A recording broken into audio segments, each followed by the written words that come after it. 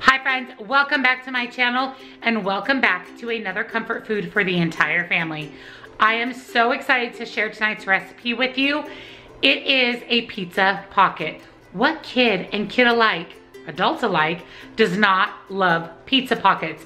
But they are so incredibly processed, they are so incredibly high in points that I am recreating your traditional pepperoni and cheese pizza pocket into a WW friendly version.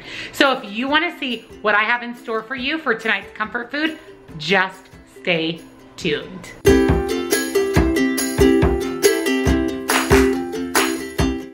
For tonight's comfort food for the entire family, we're making pizza pockets. So let me show you what is in our pizza pockets.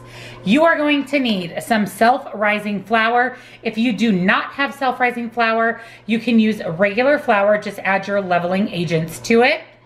You're also going to need some non-fat Greek yogurt, some cheese, whether you use light shredded mozzarella, fat-free, or any other type of light cheese.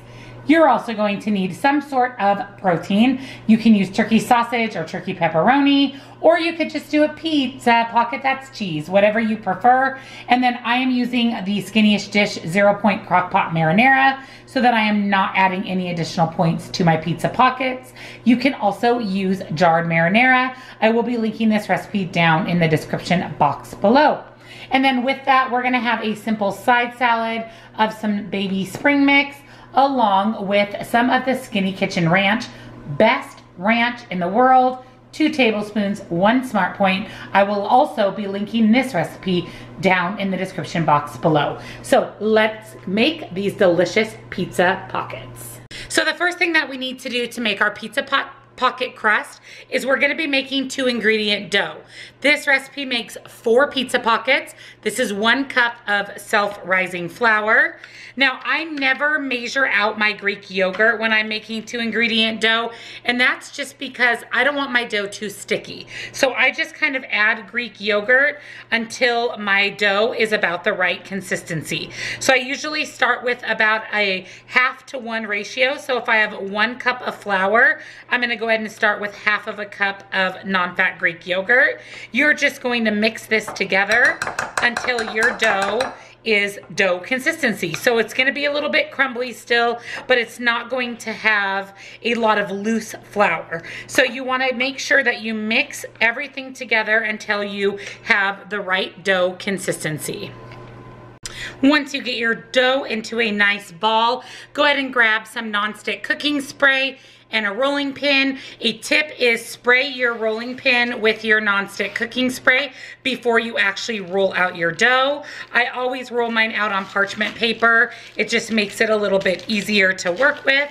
So we're gonna roll this out fairly flat. We need to cut this into four equal pieces so that we can prepare our pizza pocket. So you wanna just take your time, get this nice and rolled out. If you need to re-oil your rolling pin, re-oil your rolling pin, but just make sure that you get your dough nice and rolled out nice and flat. It'll cook a lot more even and you'll be able to actually have a bigger piece of dough for each pizza pocket. Once you roll your dough out, you're gonna take a knife, cut it into four equal sections. And then for each section, you wanna kind of form it into somewhat of a square. You can kind of just roll the edges up. It doesn't have to be perfect, but you just want it to resemble somewhat of a square so that you can add your filling. So we're gonna do one section at a time for our filling. So let's take up our first section here from our parchment paper. We're gonna go ahead and move it aside. And then to that, we're gonna go ahead and add some of our crock pot marinara. Make sure that you get this nice and stirred together so you're not adding too much of the liquidy part.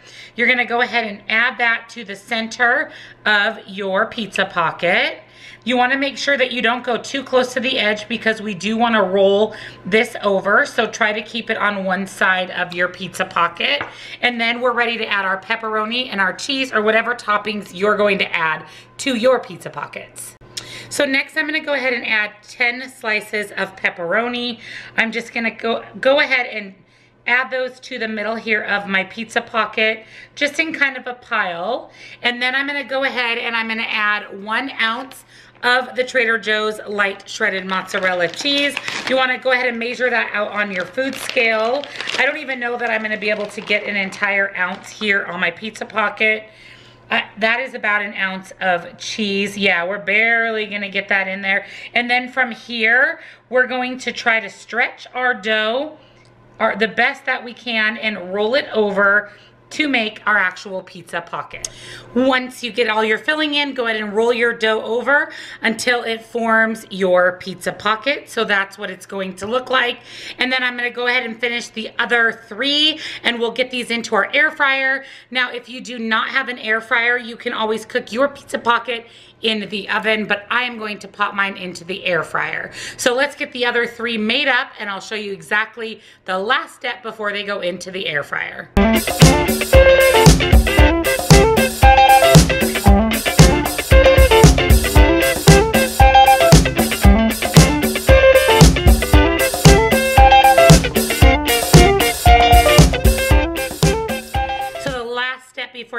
Pizza pockets into the air fryer.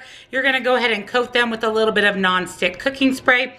That's just going to help them brown a little bit better. And there you have it. They are not the prettiest. I should have probably rolled the dough out even a little bit thinner, but I'm gonna pop these into the air fryer and let's see what our finished product looks like. The pizza pockets are in the air fryer. I have the Power Oven Elite, which is more like an oven versus the drawer air fryer. This is linked down in my Amazon store in the description box below. A lot of you ask me about my air fryer. I freaking love it. You can do rotisserie chickens and everything in this air fryer. It's pretty awesome. So these are in there at 375 for about 15 minutes. And I will be back to show you the completed pizza pockets and exactly what we're having for dinner. So here are the completed pizza pockets. They actually look absolutely delicious. So they did pop open, this one popped open really bad, but that actually looks really good. So just be careful when you're rolling out your dough not to have any holes, but this one is pristine. So I'm gonna plate this up and then I will show you my completed dinner as well as give you the smart point. So here is my completed dinner.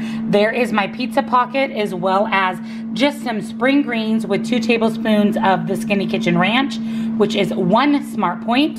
And then my pizza pocket here is three smart points for the flour and Greek yogurt to make the two ingredient dough, one smart point of cheese, and one smart point of pepperoni, zero for the sauce.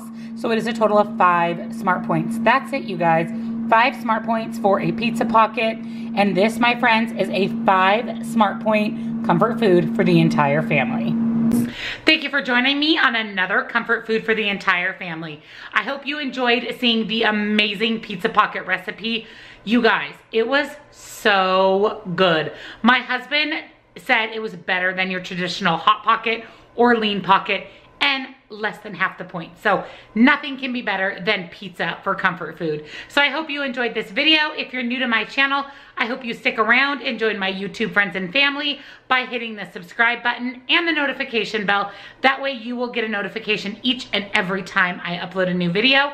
Give this one a thumbs up comment below. Let me know if you're gonna try tonight's Pizza Pocket comfort food recipe for the entire family.